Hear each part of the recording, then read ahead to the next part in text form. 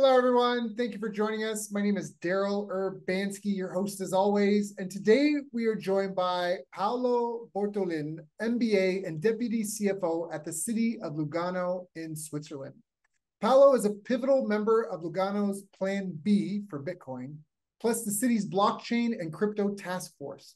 With a passion for Web3, blockchain, smart contracts, fintech, Bitcoin, and cryptocurrencies, Paolo envisions a future where these technologies revolutionize treasury, banking, and public sector operations. His extensive career includes roles as deputy CFO, vice director of finance, board member, and fintech advisor. Fluent in English, French, Italian, with knowledge of German and some Spanish, Paolo is a global financial strategist and an enthusiastic speaker at international crypto and blockchain events. I've asked him to join us here today to share his story and tell us about his work in helping the city of Lugano embrace cryptocurrency by accepting Bitcoin and USDT with no limits on amounts or services, meaning citizens can pay all their bills with this modern tech. This incredible breakthrough positions him at the forefront of digital finance innovation, making him an authority to discuss the future of crypto and commerce. Paolo, thank you so much for joining us, my friend. How are you doing? I'm fine, thank you. Good morning, Daryl. Thanks for inviting me. I'm very glad to be here. Yeah, we had a good pre pre call talk. I'm excited to hear about this as well. But before we even get into this topic, I always like to ask, how did you even get into finance? Is this were your parents in the industry? Is this like a, a family kind of business? Being, or do you all sit around like 17? I know uh, one of our guests, he comes from a line of 17 clinical psychologists. I can only imagine what holidays would be like at their house. But is that your story too? Everyone have some sort of financial background? No, absolutely not. That was all my, let's say, my ideas, my interests since I was a, basically a kid. I was 11, 12 years old. I had two passions numbers and money. Counting money when I was a kid, I was all the time counting my cents in my piggy bank and also IT, uh, let's say technology. I'm a passionate of computers since 81, 82. So at the very beginning of the computer life, and not on the 70s, but on, on the 80s, I was programming the famous Commodore 64 or ZX Spectrum. That was another home PCs. At that time, we didn't even have PCs at home or in the offices. So there was really some revolutionary. And I didn't know why, but I really liked this instrument immediately. And actually, there's a story behind this. I asked my father to, to if I could borrow 600 francs, which is more or less $600 today. And he said, for what? It's a lot of money at that time. He said, I was 11 or 12 years old. I say, I want to buy a computer. And I say, what the hell is a computer? And my answer was, I don't know, but I know I need one. That was really the real answer. I still remember that. And then I started programming in BASIC and I got passionate by technology. To make it short, then technology and finance always, let's say, is part of my life since always. Then I went to the university to study finance. Then I MBA at UC Berkeley. So I really always kept these two components, technology and finance. And today is nice because they this fintech. Mm-hmm. But at that time, I was a strange guy with two passions, IT and finance, which they never talked together before. So that's a little bit the story. But no one in my family was involved either in neither in, in finance or in computer. That was all my interests. So can you walk us through some of your like the stages of your career? An MBA, obviously that's business, but you're working in the public sector now. Yeah, it's it's a very yeah, it's a very diversified uh, career. I always follow my interests, and I always done jobs or taken jobs which interest me, where I have something to do with innovation, where I can innovate, where I can change things. So let's start from the beginning. My father has a couple of small medium companies around 40, 50 employees. And when a family, generally speaking, in the Italian culture, the family as a company, it's normal that the, the sons and the daughters they go inside of the company and they continue this. So what I've done is I started accounting at high school. It was a high school with accounting component. So I was the accountant of the family. Naturally, I say finance, at the beginning, you start from the accounting. So I become the accounting of my family, one of my family business, very small, 15, this was 15 employees, but still very, inter very interesting because I was doing the accounting manually with papers at that time. Right. And I introduced in 87 the first computer, the first software, and I changed completely the structure of the company. So I can tell you some stories about always this component and uh, finance. Then after a year, I said, okay, accounting is nice, but I want to do more. I had a couple of friends of mine who went to the university. So after two years, I left the company and I went to the university in Fribourg, in the French side of Switzerland, because as Switzerland has four official languages. So I'm Italian speaking, basically, so you can really hear from my accent, it's really Italian accent. But in Switzerland, we speak German, French, Italian, and Romansh, which is a a very interesting language between German and Latin. Yeah. It's a very interesting language. It's a minority, but we try to take care of this language too. So I left there. I started finance at the university, then came back to the family uh, business again, developed the business, and three years later, uh, I left the company again to go to UC Berkeley uh, for doing my MBA. Great experience, amazing experience, not only for the MBA, but living in the US, another culture, another language, another system, completely different. I learned so much. And then, to be honest, the, the Bay Area, Stanford, uh, UC Berkeley, and the Silicon Valley is really something amazing. So I learned a lot about innovations, more and more about innovation, and I got passionate about internet. Then when I came back from, from this, I still taking care about uh, one of the two family businesses. And then seven years later, I decided to leave. So I sold uh, my stake to my brother, which I was working with my brother at that time. And that's also a very interesting story. I decided to finally go for the banking sector. So uh, finance, I want to go really for finance. But that was end of 2007. So it's probably the worst timing ever to choose to go into banking, right? I was doing some interviews with some big private banks. They said, okay, you are okay. We probably give you in January, next January, which was 2008, uh, the contract. So the, the job, but they never called back. And then in, in February, I really realized what was going on because the crisis, the financial crisis started in February 2008. And I realized why they never called back. And that was a chance because if they had hired me, probably six months later, I was home again. So what I, I, did at this point with a friend from Guatemala, we decided to start an internet startup and we did it. But clearly in the middle of the financial crisis, not the best time to do that. Anyway, that was a great experience. We built that a platform. Uh, I work with programmers. Once again, this IT company is coming up. Three years later, the, the startup was okay, but not taking off. So we decided to sell the company. Mm-hmm. And I decided to try to go back to the financial sector, but still 2010, 11 was still bad for the financial sector but I got the opportunity to be hired as treasurer of the state of Canton of Ticino. Canton of Ticino is the, the region where, uh, where Lugano is located, so southern Switzerland. And as you probably know, Switzerland is a confederation of states. We have 26 cantons, which are also states, like the US model, right? And uh, I was the treasurer. I became the treasurer of this state. And uh, very interesting because I could apply the financial concept in, in a strong way because the canton has 4 billion budget and 2.5 billion in debt.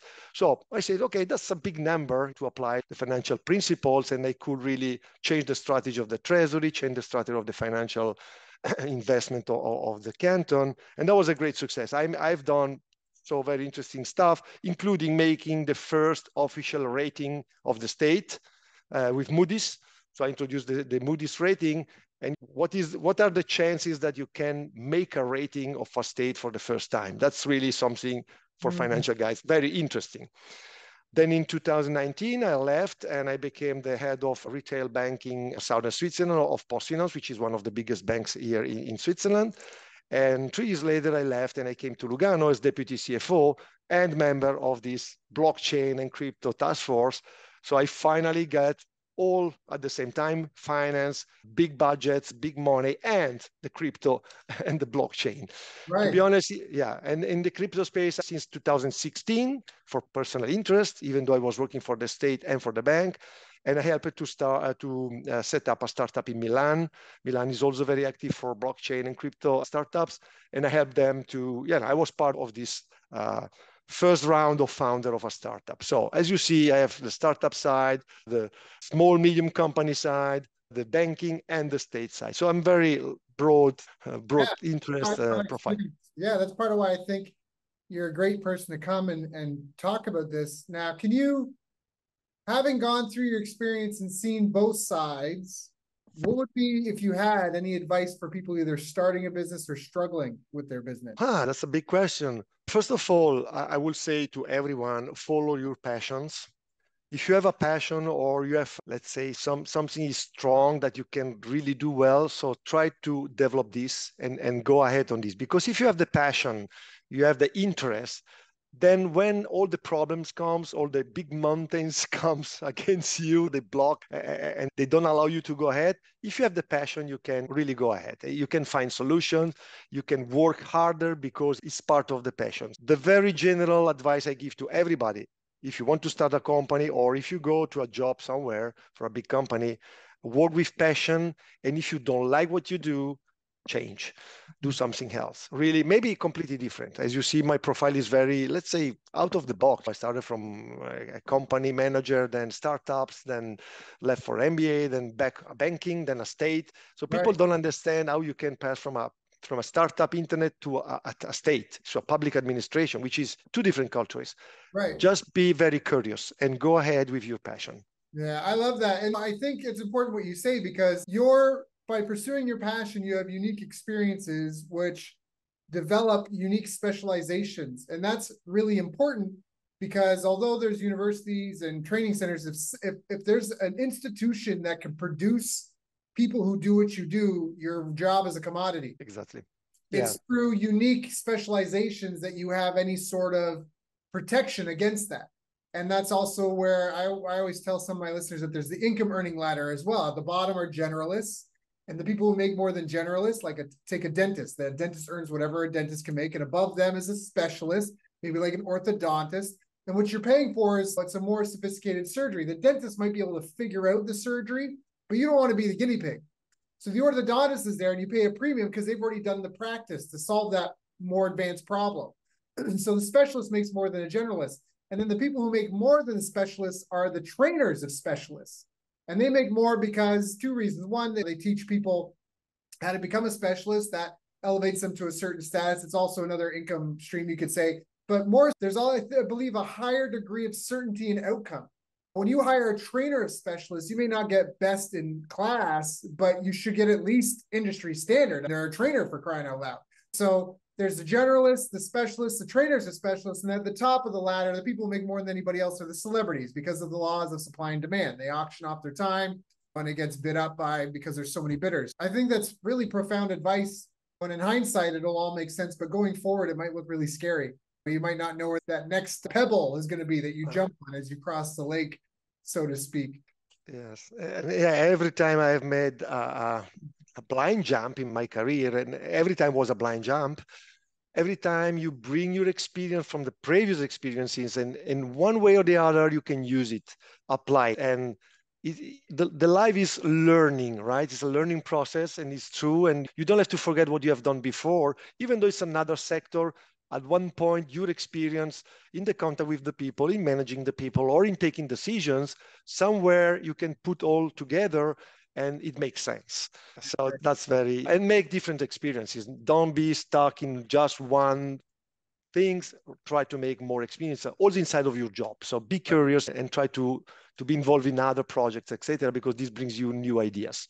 So what what got you into crypto? Like, why crypto? You could apply your knowledge in a lot of different ways. Why did you have the faith and the interest in crypto? I got into crypto thanks to a friend who is living in, in, in Dubai right now. He's an Italian guy, very good friend of mine. He's a specialist in digital payments since since 2000 something. I met him in this internet startup project. He was working for the bank, he actually set up the payment system for the bank I choose for my internet startup. And that was 2008. So back there, he was already a specialist there. Now he's a very specialist in everything, is banking, payments, etc. And I remember in 2013, he sent me a, a, an article about Bitcoin or 12, it was 12, about Bitcoin. Say, you have to read this. I say, okay, interesting. But at that time, I had many other things to think about. I could not really just my wife just gave me another big gift, my fourth fourth girl.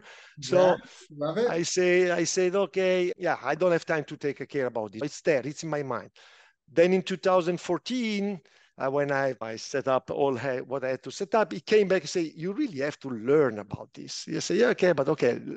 I, I downloaded a book from Amazon that was 10 p.m. in my bed. My wife was not there, was away. So I said, okay, I download the book from Amazon and I start reading about blockchain and crypto. And 3 a.m., I was still reading the book and I wrote a message to my friend, say, damn, that's amazing. It's even more than what I was expecting. Bitcoin at that time was Bitcoin, but blockchain, nobody was talking about this. I say, we can do a lot of things with this. It's amazing. I say, you should not have done me this. You should not have asked me to read this because it's just powerful. So starting from this day, I never stopped to think about blockchain. And I was 14. Then in uh, 17, we started with these friends from Milan to set up a company, etc. So that's why I got into blockchain and crypto. But honestly, it was a normal path. You start with computers in the 80s, internet in the middle of 90s, blockchain was there, now AI. I start also reading some stuff about quantum computing uh, because this is another revolution coming up. Honestly, it's really difficult to understand how really it works uh, because I really like technology from the technical point of view, how it works. Bitcoin, for instance, I'm not interested about the speculation on Bitcoin to make millions. I'm not interested about that. I'm interested how Bitcoin works. And it's just amazing how it works. It's, it's genius. It deserves the, the, Nobel Prize of economy. Mm-hmm. It's just amazing. So quantum computer is something fascinating me, trying to understand from the technical point of view. But guys, that's really tough. Understanding all this physics of the quantum physics. Okay, it will take maybe 20 years to understand the basics. Actually, the, the godfather of quantum computing is David Deutsch, and he's written a series of books. One of them is the beginning of infinity. It's a fantastic read, but it's not it's not necessarily an easy read. It's a book you read and then you come back to it, and you read it again, and the first time you skimmed it, and the second time you read it deeper, and the third time, and by the fourth time you're reading the book, you're like, oh, okay, I'm starting to get it now. I think, yeah, getting some points, yeah. it's, it's really for me, it was a really powerful book to read in terms of helping me discern good science between bad science, understanding how because before you're like, oh, we just went through three years of everyone saying trust the science. But there's a lot of people that go through the motions of science, but it doesn't mean they're doing good science. And you can lie with statistics. And so this book for me, part of it was explaining how do you avoid that sort of conundrum, so to speak. Uh, and he talks about quantum computing and that essentially that when you're doing calculations in quantum compu- computing, it's different than with a normal computer in the sense that with quantum computing, if you think in terms of almost like the multiverse, all the possibilities that could happen do happen, and they live out their lives until they all inevitably collapse into one, actually, is what you're trying to have quantum computing do. And that's versus a linear two plus two equals four. All these things are happening at cascading at the same time. Again, like you say, it, it is tough. How would you explain blockchain to a five year old? Oh, how do I do this? It's very I was in in Malta on the I think it was the first November 2017 for the first big forum there about blockchain and crypto. And there was a lot of stands there, and there was a family with a, a, little child. She was probably seven, and this family was there to sell their book, and the book was named "The Block Train." So it was a train with the wagons, and they tried to explain the blockchain through a block train and it's exactly what they will do. It's a train, and you add a wagon every time, and you cannot take the wagon out without breaking the train. And if the train is broken, then you cannot drive the, the train anymore. So I would say it's a train with wagon where you can put some information in each wagon and each information on the wagon depends on the information of the wagon, the wagon before. So I will try to explain this, but it's very difficult. And no, I think it's great more or less the way I would I will use this example, which is not mine. I'm I'm you know yeah, stealing yeah, from them, but I it was genius. So uh, blockchain is essentially a train with many wagons. Every time you do something, a new wagon is added, but it depends on the wagon in front of it. And there's no way to fudge. There's no way to cheat that because exactly. in the train example, it's in moving. And I think the blockchain, what happens is that even if someone does try to figure out a way to sneak their wagon into the mix, the when it stops, when the it's almost very democratic. When the majority of the wagons out there don't match up with this wagon, the default is to choose the one that has the longest chain, the oldest. It's like the oldest tree in the forest is the one that we go by so to speak, and everybody gets a copy of it all, uh, of all the data at the same time. Exactly. I love that. I love that a lot. so blockchain is more use is useful than more than just digital payment. Say it again. What do you mean? because you said you use blockchain at the same time that you were learning about Bitcoin. So not everybody listening is fully versed in this in these fields. So I'm saying, is blockchain something that only really applies to digital payments? Oh, no. I think thanks to Bitcoin, we just realized that the technology was really useful for us because I think blockchain uh, is born on the 80s or 90s. I think actually somebody from, I, I met the professor who conceptualized the blockchain, probably from Bay Area, if I don't remember, from San Francisco. But anyway, blockchain is a very old concept, but nobody applied this before. So Bitcoin came up with this concept of how to use blockchain is not bitcoin is not only blockchain and bitcoin is not blockchain. So bitcoin is a concept and blockchain is just on on the behind which allows the system to work. But thanks to the digital currencies to, to the cryptos we realize that this blockchain can work very well, which is secure, is transparent, you can violate, it, it, brings a lot of advantages. So digital currency is the way we realize that blockchain is useful, but blockchain is not only uh, digital currencies. Sure, many says that it can't exist a blockchain without its native token. That's a philosophical concept. Probably the native tokens on the blockchains are useful to help these transactions and to reward the transactions. But I think in 10 years, probably this is will won't be a, a, a topic anymore. Blockchain is blockchain. It can be the, the, the concept of decentralized blockchain is fantastic but also centralized blockchains are not bad. Uh, maybe there is not in the philosophy of this independency, etc., but it allows you to open up some information to, to, the, to the external world without having too many firewalls or database checks, etc. Because with the blockchain, you can set up public and then be sure that nobody is violating it. If you make a, a, database public, then it can be tricky. For instance, as City of Lugano, we have our own blockchain. We set up our own blockchain, 3achain.org.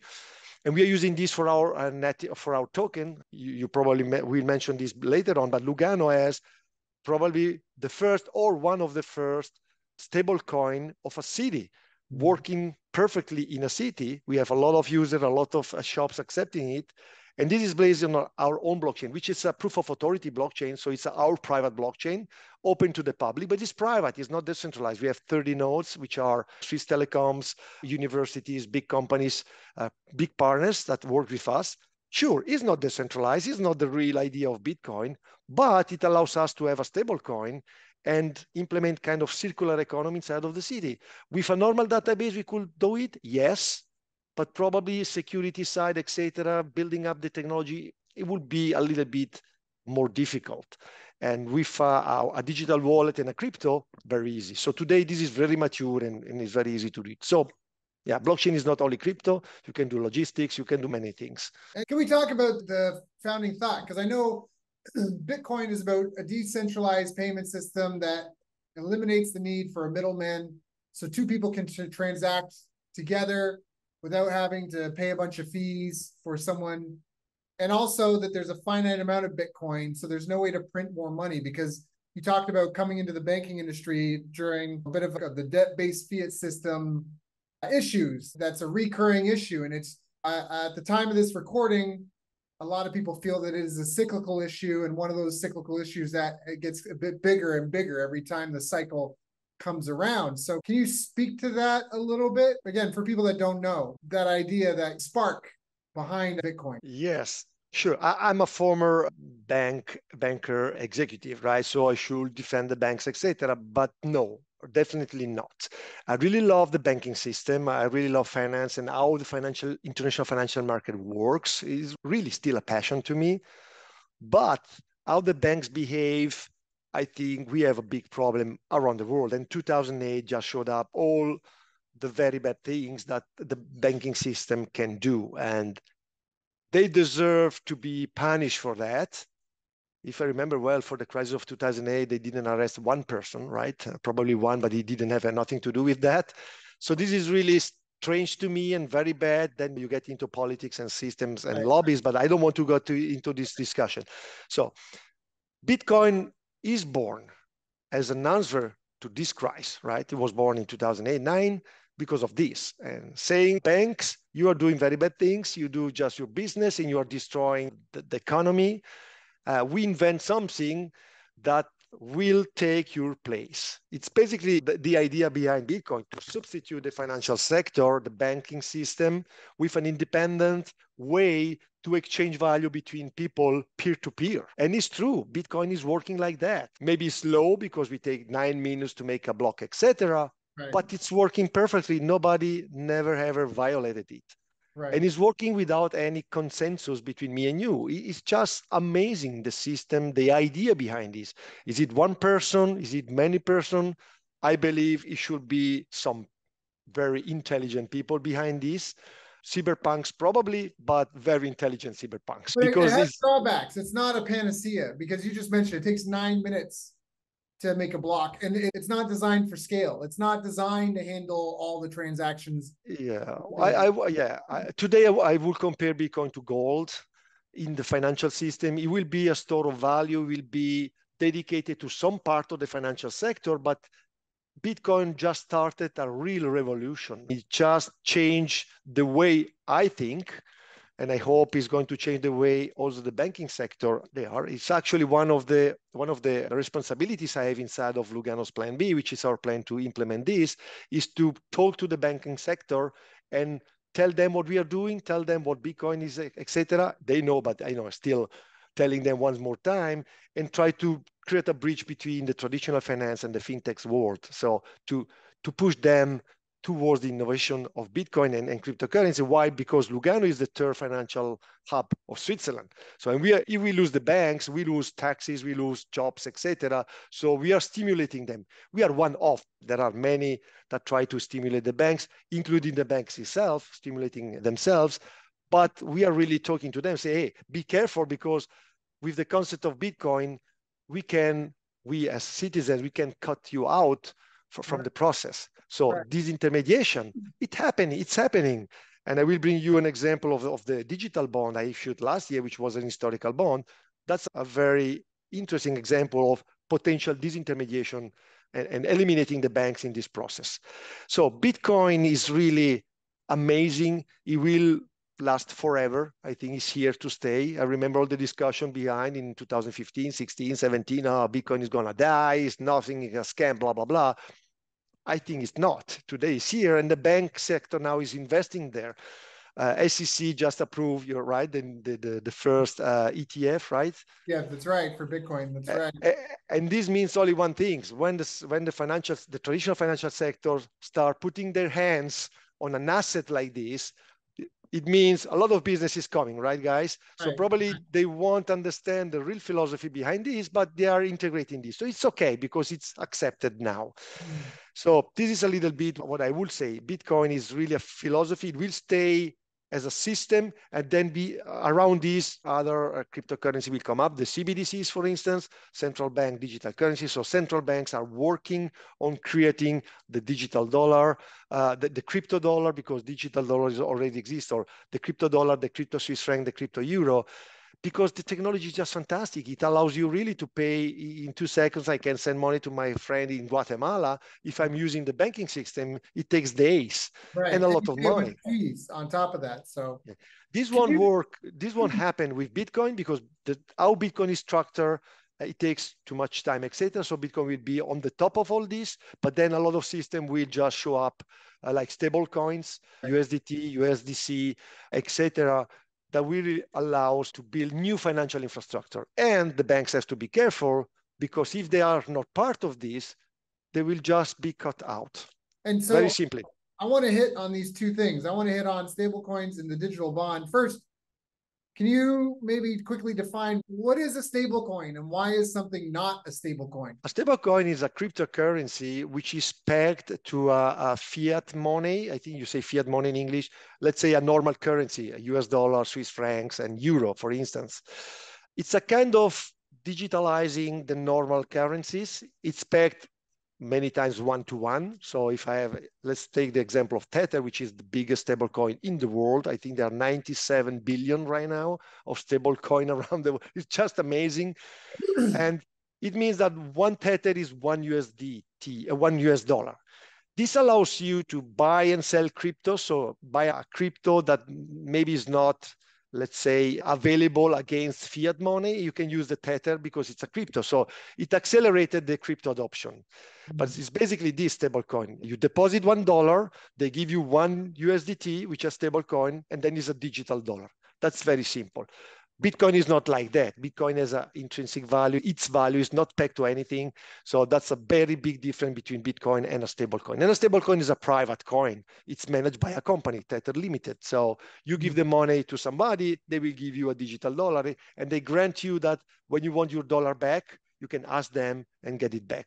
We sent the rules. Naturally, there are rules on that. Somebody explained that to me. They said it was almost like a way of a company issuing stock. They can make their own coin and get and sell those coins in exchange for fiat. And then that's essentially like owning equity in the company to a certain extent uh, based yes. on that. So the difference between sorry the difference between the normal coins because you have probably 5000 10000 cryptocurrencies around. When i sell you my token i'm not going to give you back the money if you ask. You just buy the token then you can transact in the market but you can come back to me and say hey, give me 10, my 10 $10000 back a stable coin is like that. It's a bank getting your money, keeping your money, giving you money back when you want. So that's a very three different, right? Stable coin is the bridge between the fiat world and the crypto world. Exactly, exactly. Got it. So now let's talk about the digital bond because you said there was a good example of a risk of banks being cut out of the picture, so to speak, or a threat to them. I don't know if that's the right way to. I may be correct me if I'm phrasing this wrong. But can you explain what is a digital bond? Why is that a big deal. Yes. So one of, one of the application of blockchain beyond the fact that you can create cryptocurrencies is to apply to, to the tokenization of debt. As a city of Lugano, we issue bonds, right, on the market. Normally, you go to the stock exchange, you ask for 100 million, they give you 100 million, and you write on the paper, I, you know, I have to give you, you back 100 million in 10 years, okay? And this is the way the bond market happens.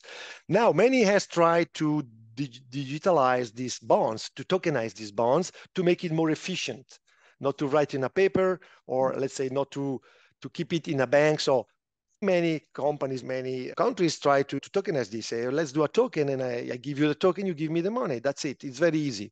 So it's a technology that can make you save money. In Switzerland, we have SDX, a SIX digital exchange. It's a big project from the Swiss Stock Exchange, the official SIX Stock Exchange X, they put a lot of money to build up a digital platform based on the blockchain.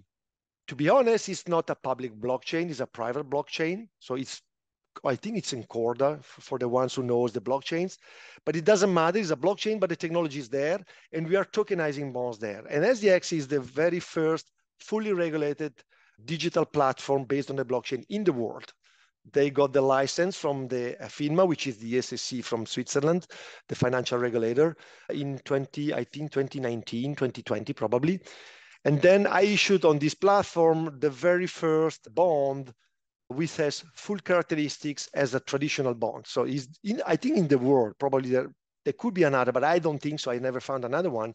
This 100 million I issued last year in January last year was the real first full characteristic bonds which means it's transacted on the blockchain, he has secondary market, he's native, digital native, and he will die digital.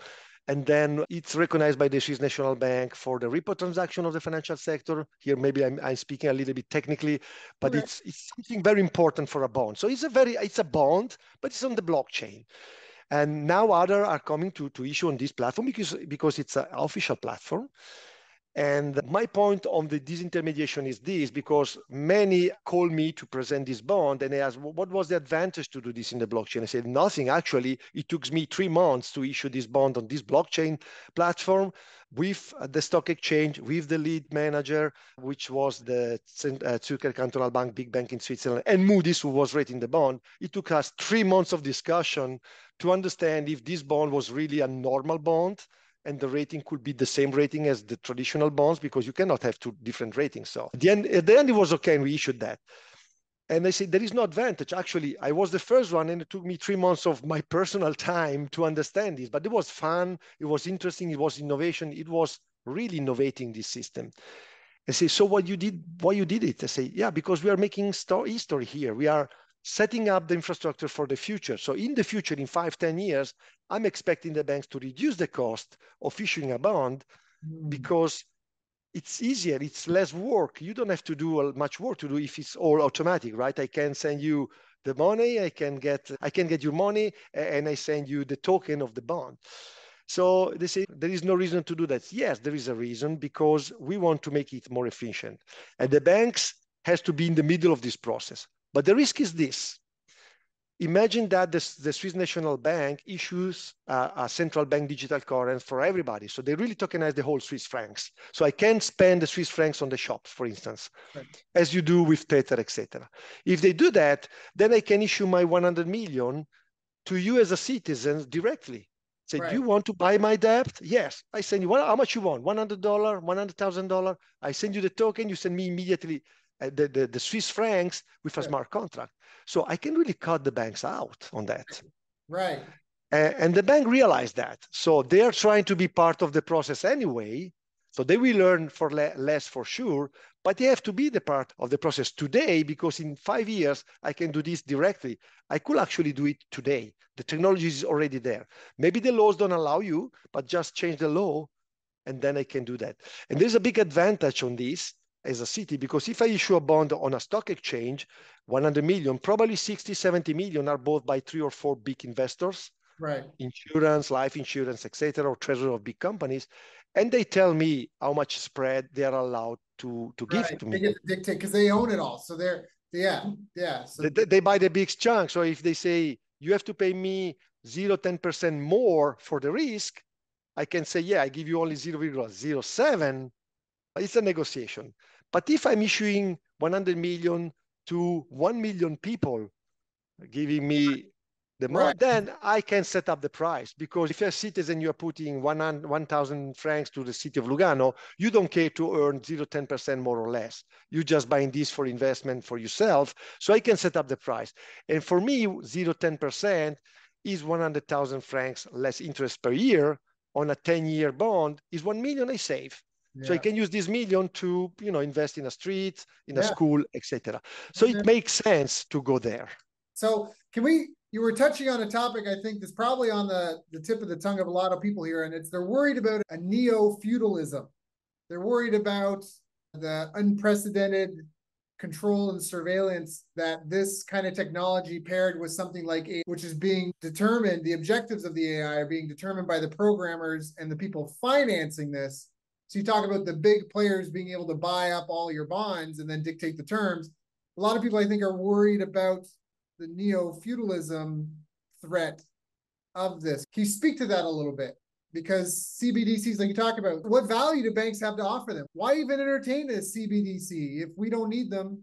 What value are they bringing to the table? Or are we just like letting Kev, and I'm saying this to be frank, because I feel like that's what listeners might be thinking but we call it the cousin Jerry rubber stamp. Like cousin Jerry's just not very bright, but he's the cousin of the mayor. And I, well, I should maybe I don't know if I should say that, but you got to pay to get his rubber stamp because you got to pay his rubber stamp. And you just mentioned now there's laws in place that prevent you from doing some of this stuff. So what value add is a CBDC?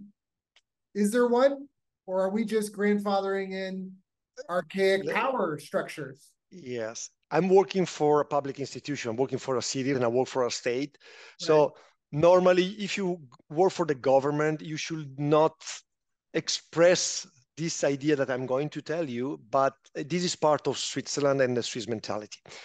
I'm just doing this, uh, telling this before because maybe it can. Some people can say, "What are you saying? You are working for a city. You cannot say that." But I think freedom, democracy, the real democracy, which is really rare in the world, it must be preserved. Freedom of people, freedom of financial services has to be preserved. It doesn't mean that we are leading to anarchy. It's really the freedom, right? right? Then there is the respect. There are limits, but freedom is really important. So as Swiss citizens, the Swiss people really care about democracy, really care about freedom. Uh, I don't know if you know, but we are one of the oldest, probably the oldest democracy in the world, and we go to vote for so many things. Swiss people continue to vote on everything. We have a semi-direct democracy. We have the government, etc., parliament, and like the U.S., the Senate, etc. They take decisions. But we are, if we are not happy, just collect some signs and they say, stop. You're making something we don't like. So if 100,000 people say, okay, then the whole population goes and say yes or no.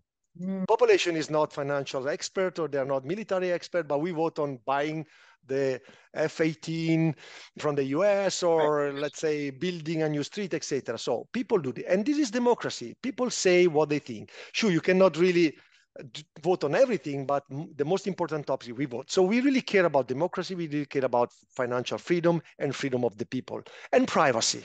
Mm. So Swiss people are really strict on this. It's a very interesting country, very innovative country. Actually, we are on the top of the ranking. We are number one on innovative country. And the second is Sweden. That sometimes many people mix Switzerland and Sweden, two different countries. Right, yeah. uh, but, but for many years, we are first, they are second, they are first, we are second, but we are on the top of the innovative countries and also democratic. So why I say this?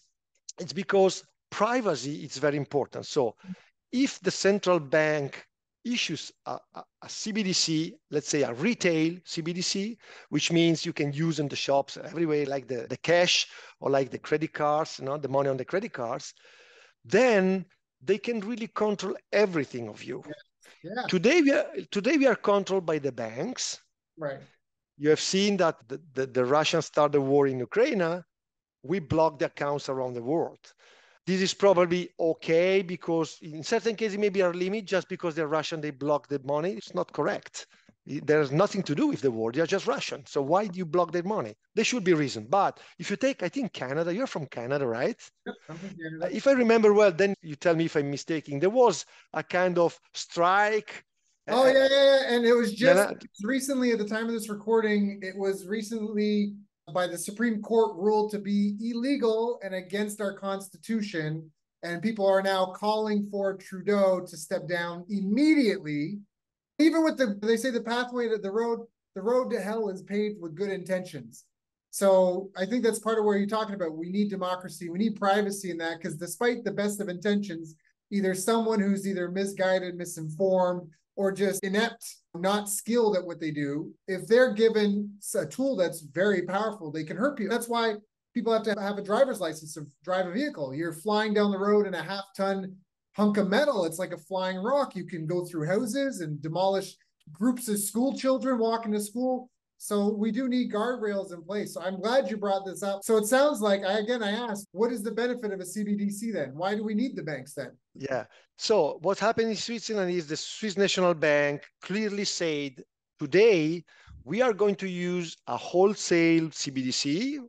Wholesale means uh, use among or inside the financial sector, not by the citizens. So basically, you mm. using this to transact between banks but we don't want to issue a retail CBDC, which is a, let's say a, a crypto franc that I have in my wallet and I can spend in the shops. Why? Because they say there is a huge concern on privacy. Because if you spend this, we know exactly what you're buying, where and when, and where are you moving, etc., etc. So this is the central bank. Imagine that's really, I think Switzerland is a very special case. Even the central bank, who has huge interest from the government side to control everything, to control the money, etc. They say, no, we are not going to go into this because we have the risk that we ourselves, we are going to use this to control you. Amazing. I don't know if the Federal Reserve is ready to uh, say something like that, right, in the US. No, the Federal Reserve would never. Would never. Okay. so there is, there is a very big concern on CBDCs and privacy in a retail way. In, in the financial sector, we full say there is no problem. It's just a more efficient way to do it. So there is a big, and that's why private private stable coins like USDT or other, they are used a lot in emerging countries to build up the new infrastructure and using this. Sure, you can say, I give my, my information to the private company. Exactly. So Bitcoin is the only one that you can really transact and be really anonymous and be really sure that nobody's checking you. So this is extreme, the, the extreme freedom we should find a way in the middle. So I'm positive with the central bank digital currency. It can bring speed in the transactions. Right. Uh, not for Switzerland, because honestly, in Switzerland, we have apps, we have banks, everything is working so efficiently that we really don't need it. We could go ahead with our apps, etc. But if I want to send money to my friend in Guatemala, ah, then I need something through the old traditional banking, then it's a mess. Speaking at a worldwide level, speed ups everything. Got and it. then for the emerging countries or the countries where they don't have infrastructure, financial infrastructure, it's amazing how you can build it fast because you just need a phone. That's it. So and actually, sorry, and actually, there's one one more point: is the unbanked people. There are billions of people unbanked in the world, not in Switzerland, but we have, for instance, five million unbanked people in France. Imagine. So those people, they don't have access to the banking sector, to the banking services. So with a CBDC or, or a crypto or a stablecoin, they can survive in our society. So right. I think there is a lot of value behind this. Yeah, I, I, I agree. I think it was Nigeria. I heard that the government was trying to get rid of and ban Bitcoin, and it just made it more popular. And uh, people even even found, China. yeah, some service was allowing people to text payments for stuff, which I thought was crazy because the, the cost of transactions. Anyways, is this all? And the, I'm really stepping outside my knowledge here, but I've heard rumors of something called the QFS, the Quantum Financial System. Is this? Do you know anything of this? Is this tied into that? What's it, its role in this? I think you're talking about quantum cryptography, right? And the impact of quantum computer on all this. I, I think it's a it's a very big issue. Uh, potentially, a quantum computer can break break uh, the the cryptography of the cryptocurrencies today. I'm not sure Bitcoin, but probably also Bitcoin. The potential of power and calculation is so high. I don't know if they can, but potentially can. Yeah, I think AI is coming up, and then states and companies we try to get the best of these to lead the world. Quantum computer is a second big risk that if it's concentrated in the in few hands and in the worst hands, then it can have an impact on the world. And I bring the example of Swiss National Bank, our national bank, who is doing CBDC test with the digital bonds coming up. They're already working, I think it's public, on quantum cryptography for a CBDC with quantum cryptography. I think they're working with David Chaum, which is a very well-known person in the crypto space and they're trying to anticipate this. And I remember last year when I issued this bond and I met Thomas Moser, who is alternative board member of the Swiss National Bank, is the person who is in charge of all these projects. And I say, we were talking about quantum cryptography. Say, oh yeah, Thomas, what do you think? For when is this problem? And he said, it's for now. Yeah. So they are already working on this at Swiss National Bank, but this is a big issue. I have not the knowledge to think about this or take a, take and speak about this but i feel there is a problem and i'm sure we will let's say the humanity will find a solution for that. So i'm concentrating in developing now what we yeah, have we have at disposal. Great i love that we broke it down how people can understand how a stable coin and even how the city has its own stable coin how these provide layers of protection and privacy so to speak even if there is a cbdc banking uh, behind the central banks you don't have to worry about going to see your doctor telling you that your blood pressure is high or something, so you shouldn't drink. And now you can't use your money to buy alcohol or whatever, that you lose your free will. I think that's a, a big concern.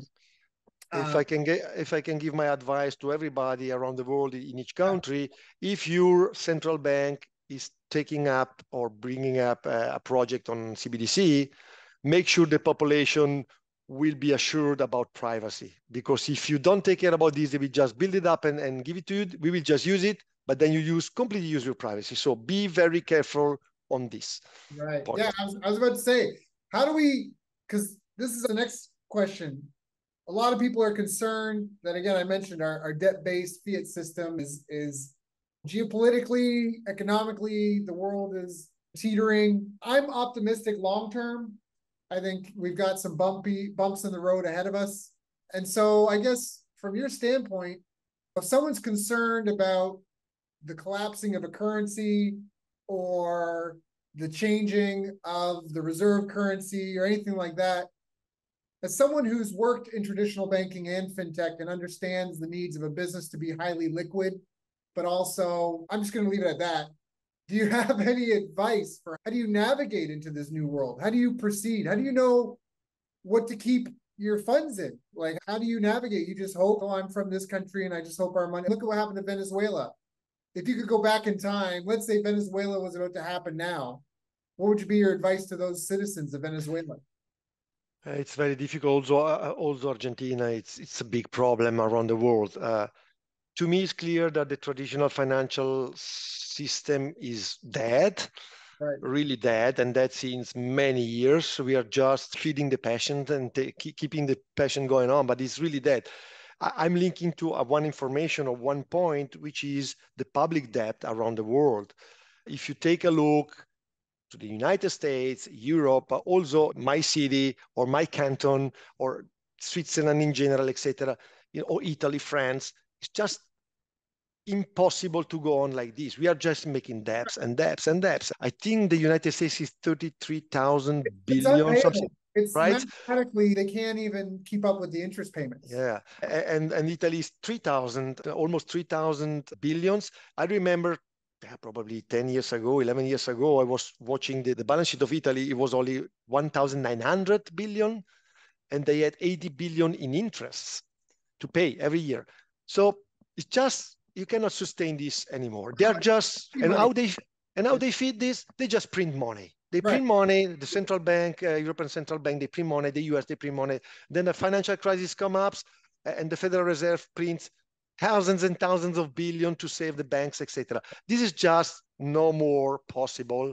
Yeah. It will at some point everything will fall down. Right. And I don't want to be negative, but if you take the science around the world, what yeah. happens when you have this kind of collapse? You have war. And right. now we have Israel, war. we have yeah, Ukraine, we have many yes. countries mm-hmm. coming up. So I'm really hope it won't happen, but this is the past that in the past we had. is exactly the same. So this system has to end somewhere.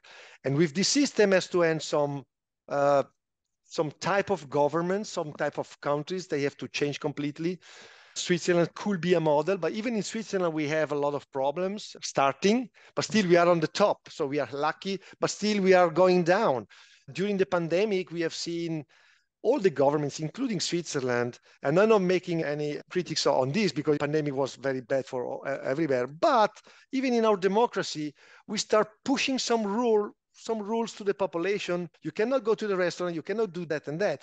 And I think they went really far away behind the limits that democracy gives. And I was really, for the first time, I was really shocked that in Switzerland we could do these kind of things, even though was kind of suggestion, you, you should not go. But right. if you go, you can have problem. But I don't tell you which problem. You're going to kill grandma. Yeah. And this is Switzerland. Imagine other countries. I think the population had to start kind of revolution. I'm not saying uh, course. Uh, not harmed revolution, not violent revolution, but change the mentality and block these kind of models of states. It's old, it's gone. We have to change fast because AI is coming and AI will disrupt everything. Uh, and blockchain is disrupting, crypto is disrupting, uh, Bitcoin is disrupting, quantum computing is disrupting. So all this revolution at the same time it can be too much for these systems to resist, and they don't have to fall at once. We have to change gradually. Otherwise, it's a catastrophic situation for the economy, for the people, for your money. But definitely, if you keep your US dollar, etc., they can devaluate in five minutes. They just print money and that's it. That right. is Bitcoin in the other side. Right, got it, got I'm, it. I'm, to, I'm talking like a maximalist right now. right. No, no, so, but I think, like you said, we need it all. We need it all because we need paved roads, we need garbage pickup, we need school. So where, like you talk about, it's almost like it. It sounds like a portfolio. It sounds like a portfolio yeah. approach where you don't want to have all your assets in one or the other, but you also have to start thinking in terms of what do they call it? But like real, I think that's part of what the supply chain issues. They said there were a lot of supply chain issues, but I know people in the know for some things, and they were saying some of these supply chain issues were really because during the pandemic, so many countries printed Canada. You brought up Canada. Canada printed 50 years of their annual budget in 2020 alone. It's just amazing. Now, so now Canada wants to buy some whatever. I'm in the Philippines. They want to buy some mangoes. And they go, hey, Philippines, ship us a bunch of mangoes. And they go, okay, what are you going to use to pay for them? We're going to pay Canadian dollars. And they're like, uh, I don't want those Canadian dollars. it's worth. And so that's what the real supply chain issues were uh, to certain in some ways was everybody having these arguments about what's the real value of what.